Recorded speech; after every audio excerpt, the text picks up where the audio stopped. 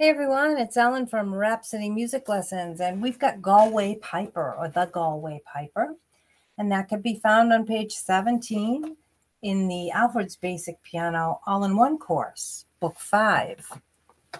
I'm going to slow the tempo down on this because there is so much going on, just to help those of you who are working on this out, okay? Because there's a lot of staccato, lots of uh, three different hand positions with your right, and then two with your left.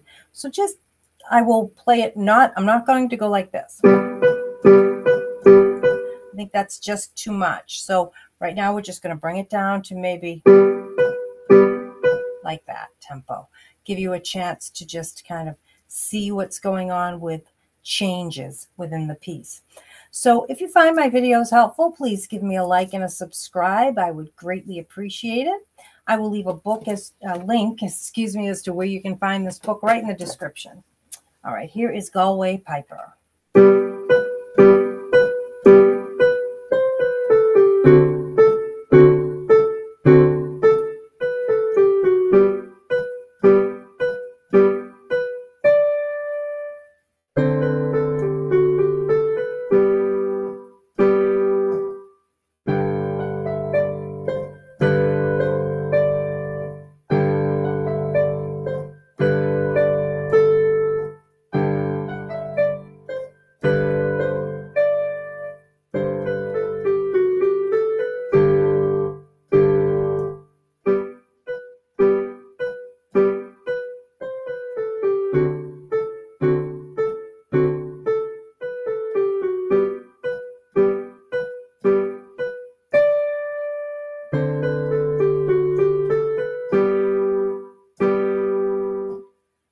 That's it. I play this very deliberately because there's so much happening. You've got crossovers, three crossing over one, two crossing over one.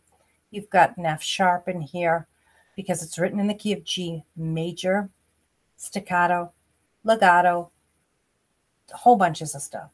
So just take your time with this. You will get it. And thanks for watching. I'll see you next time. Bye bye.